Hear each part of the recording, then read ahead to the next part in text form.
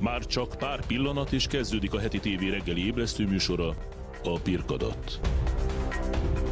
Ön a Pirkadatot, Magyarország legújabb reggeli műsorát látja. Élőben a stúdióból jelentkezik Brajer Péter.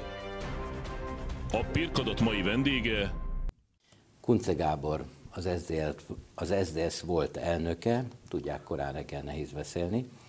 Az SZDSZ volt elnöke, volt belügyminiszter, és sorolhatnám még tovább. Szép jó reggelt kívánok! Jó reggelt kívánok, köszöntöm a nézőket. Mire emlékezik a legszívesebben? A rádióriporterségre, a tévéműsorvezetésre, SZDSZ elnökségre, belügyminiszterségre? Ezek olyan dolgok, amiknél az ember inkább arra gondol, hogy mire emlékeznek szívesebben azok, akik kapcsolatba kerültek szavazóként, rádióhallgatóként, televízió nézőként az emberrel.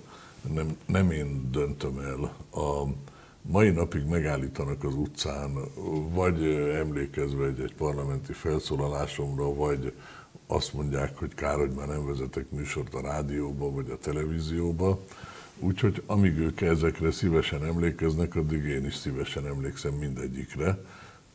Emlékszem természetesen azokra a pillanatokra is, amiktől közben égnek át a hajam. Én még mondhatok ilyet, ugye már égnek át a hajam, de hát az is benne van a pakliba természetesen. De mégis most, hogy négy szem közt vagyunk, levettem a szemüvegemet is. Melyikbe érezte a legjobban magát?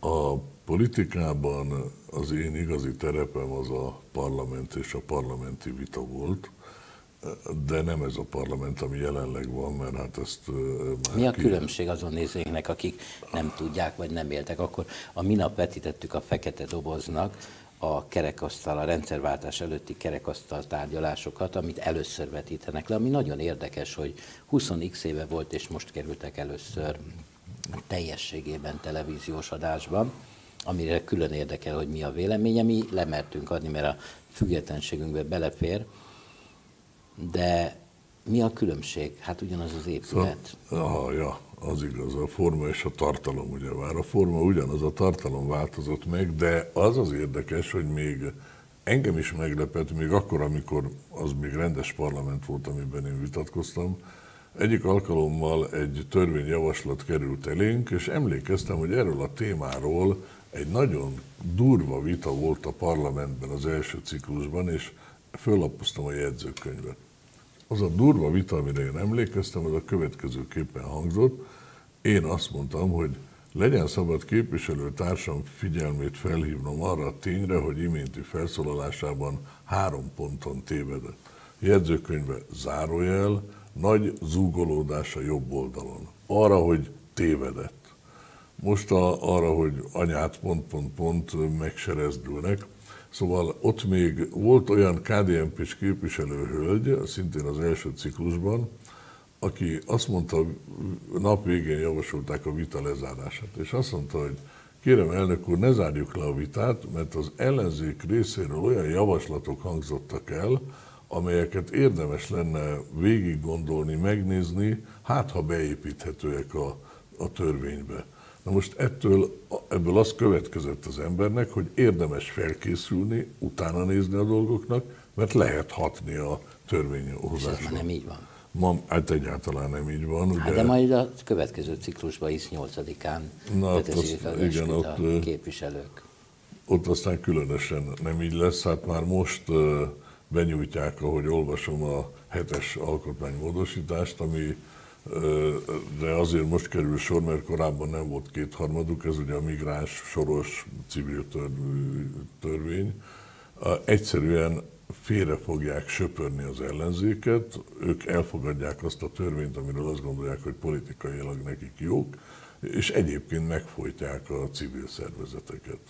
Szóval ez, ez nem parlament. A parlament normál menetben arról szól, hogy összecsapnak az érvek, vélemények, és a választó, aki ezután érdeklődik, ezek alapján eldönti, hogy melyik érrendszer az, ami hozzá. Na most mielőtt arra gondolna, hogy én egy szélső jobboldali, nem tudom én mi vagyok, meg különösen egy műsorvezető vagyok, tehát tök mindegy, hogy én mi vagyok, azért az ellenzéktől az elmúlt ciklusban nem hallhattunk olyan túl sokat. Ez így van. Tehát ez... például a DK, ha jól emlékszem, akkor nagyon ritkán volt ott, csak ha valami nagyon fontos szavazás volt. A DK-nak nem volt frakciója az előző ciklusban, most ezért lesz. most lesz. Ezért aztán ők abba a sorba tartoztak, hogy ugye szólnak a frakciók, és az elsőként jelentkező független képviselő. Tehát ott nem volt nekik különösebben pálya, egy időre pedig kivonultak, és csak a kétharmados törvényeknél mentek be, de hát azt se vette észre tulajdonképpen senki. De olyan a parlament ma, hogy az ellenzék, ha azt akarja, hogy felfigyeljenek rá, akkor valamilyen gyakorlatot, performance kell bemutatnia. Tehát emlékszünk, Szabó Tíme a fölállt a székre, mezitláb, és ott mutogatott valami molinót, a másik az Most átról. sikerült is neki egy egész körzetet megnyerni, olyan népszerű lett ebből Igen, igen, na de hát ez végül is nem ez az, amire a parlamentet létrehozták.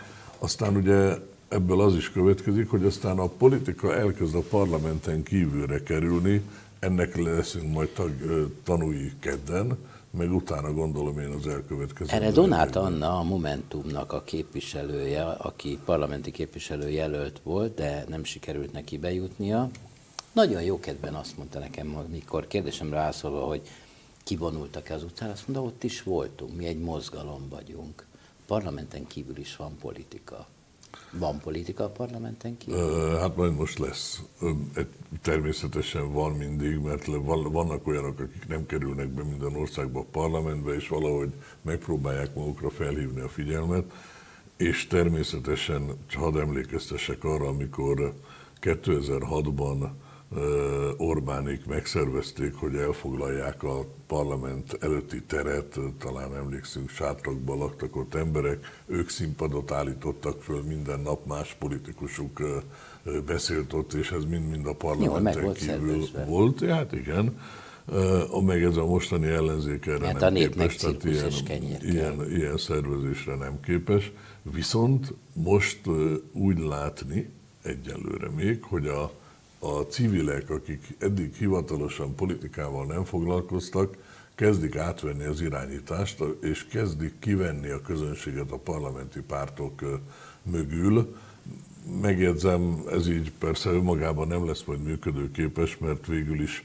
A, az utcán nem lehet szavazni. Mert így van, pontosan. Parlamentben pártok vannak, politikusok vannak, a parlamenten kívül meg civil szervezetek vannak, akik akárhogy is nézzük, előbb-utóbb pártok kell, hogy legyenek, és politikusok kell, hogy legyenek, mert különben nem tudnak a helyükre menni azoknak, akiknek a ténykedésével most még elégedett. Mi a vélemény az ellenzék bűnbak keresésére?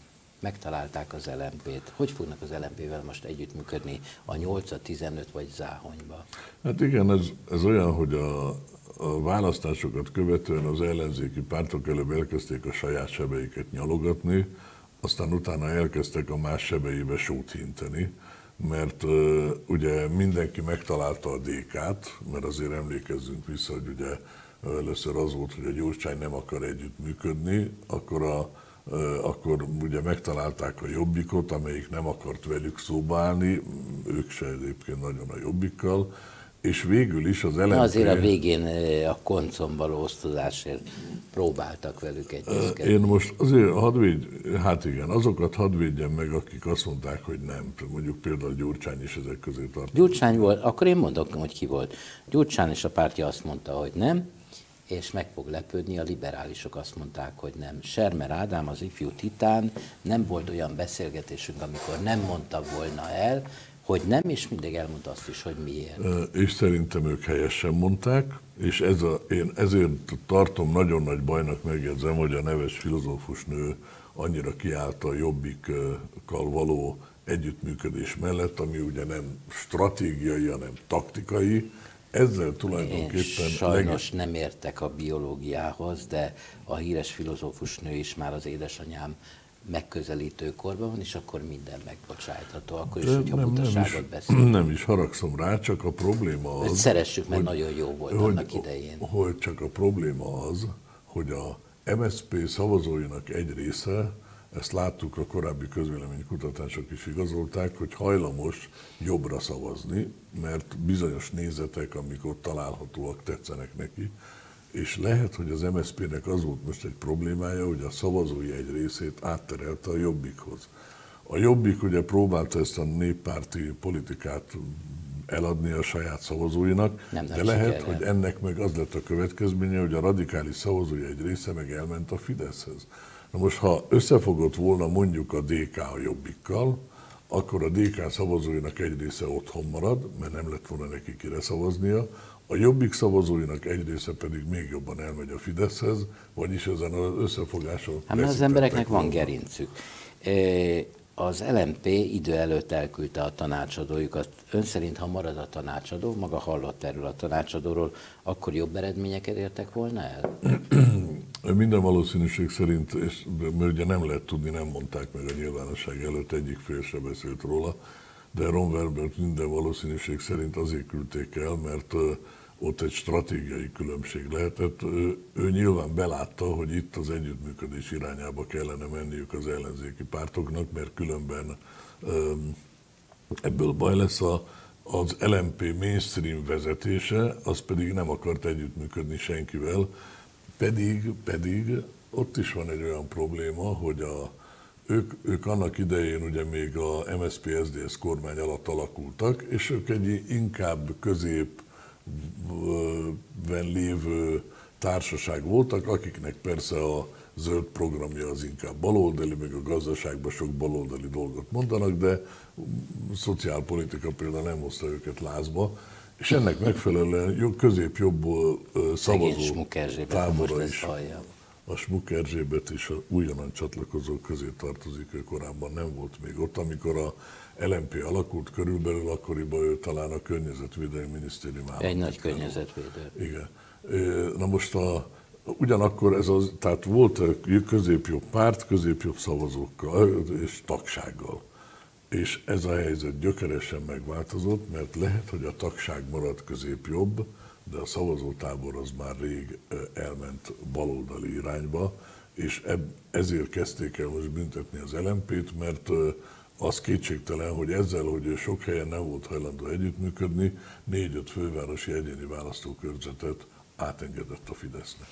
Önnek ugyan haja még van, de ez csak biológia. Van, akinek még 90 éves korában is van. Na, semmi, én büszke vagyok arra, hogy kopasz vagyok de kenyere javát már megette, és nagyon sokat látott. De én legalább az én kenyerem javát ettem, nem mások kenyerének a javát, igen? Ez egy, lehet, hogy helyén való mondat volt, ha bár én mindig a saját kalácsomat egyedül kerítettem elő. Tehát akkor a kérdésem a következő. Ön már mindent látott. Már, már sok minden volt. Nem azt akarom, hogy a kávézacból jósoljon, hanem vegye elő a Kunce logikáját, mi jön ebből ki? A Fidesz inkább, meg fogja unni, hogy saját magával kell beszélgessen a parlamentben. Inkább, inkább azt mondanám, hogy mi lenne egy optimális megoldás, hogy ami sok, sok jelenlegi nem látható dolgot feloldana, ugye az választási rendszer kikényszeríteni a pártok együttműködését, de akárhogy is nézzük, nem lehetséges a Jobbik és mondjuk az MSZP Jobbik hát és nem, az egyik teljes, a másik húsos, nem lehet összekeverni. Ugyanakkor viszont másrészt kellene egy hihető ellenzéki vezető, akire azt lehet mondani, hogy kérem szépen ő a mi jelöltjünk, egy karizmatikus. és ő lesz az Orbán helyett, ha ránk szavaztok. Ez most nem volt meg, most ilyen itt a piros, hol a pirosat játszottak a pártok a választóikat, vagy ő lesz a miniszterelnök jelölt, vagy ő, vagy ő, vagy ő, vagy ő, majd meglátjuk. Na most a párt a parlamenten belül nem látni azt az embert, aki ezt a feladatot betölthetné, valószínűleg kívülről kell jönnie. Ha ez a tüntetés sorozat, amit látunk, mozgalommá tud alakulni, aztán kitermel valakit, vagy megkeres valakit, aki ezt az említett szerepet betölthetné, és pártá alakul, akkor a ma parlamentben lévő pártok egyébként kötelesek lennének segíteni őket a parlamenten belül, utána meg eldönthetik, hogy felcsatlakoznak Tudja, milyen hozzá. sok idő ö, telt el, míg Máriának az angyali üdvözlet, meg Betlehembe megszületett a gyerek?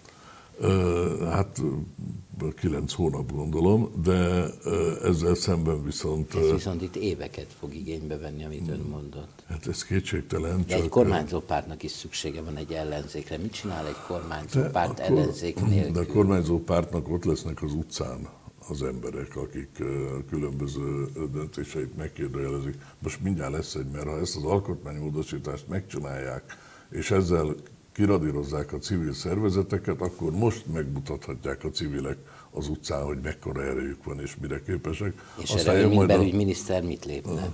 Se, semmit, bejelentik a tüntetéseket, ott vannak, hagyni kell őket. Aztán jön a következő, amikor majd a bíróságokat bedarálják, akkor aztán megint csak nagyon fel kell lépni, mert az meg már Európai Uniós mindenféle előírásokba, szabályokba is ütközik majd, de hadd hívjam fel arra a figyelmet, hogy volt olyan ország, Szlovénia például, de mások is előfordult, hogy egy mozgalom megalakult, és miután volt egy ismert karizmatikus vezetője, 6-8 hónap alatt odáig jutott el, hogy megnyerte a választást, vagy kormányzati tényezővé változott. Ahhoz képest itt most nagyon sok idő áll rendelkezésre, és ez az idő elég kell, hogy legyen arra, hogy higgadtan, nyugodtan, és a civilek és a politika egymással együttműködve, nem kizárva a másikat, megtalálják azt a megoldást, amivel a következő választáson le lehet cserélni az Orbán kormány. Időnk már régen lejárt, de úgy érzem, hogy mert nem jön hozzánk minden héten, legalább egy hét, ameddig sikerül kiudvarolni, hogy jöjjön újból, mondjon nekünk valami pozitívat, hogy egy hétig legyen mire emlékeznünk. Ez gyönyörű idő van, és ez a következő héten is így lesz. Nem túl meleg 32 fok? Hát be kell menni Azt az mondta Smuk Erzsébet, az LMP elnökségi tagja, hogy ez a teljes fölmelegedés, és ez teljesen abnormális, hogy májusban 32 fok legyen. Ugye tegnap vagy tegnap előtt jöttek a hírek, hogy megdőlt a száz éves melegrekord valamelyik faluban. Ez azt jelenti, hogy száz évvel ezelőtt pontosan ilyen idő volt, mint most. Kedves nézőim, az elmúlt percekben Kunce Gábort, az SDS volt elnökét, a volt belügyminisztert, és meg sorolhatnám tovább, hogy mi minden volt. Nekem legjobban azt tetszett, amikor vitatkozott a parlamentben, na meg a rádió műsorai is jók voltak. Megnézzük, hogy egyszer át tudjunk keverni, hogy tévézen is újból. Most előzetesek, és már is jövünk vissza. Köszönöm, hogy rendelkezésre Köszönöm szépen.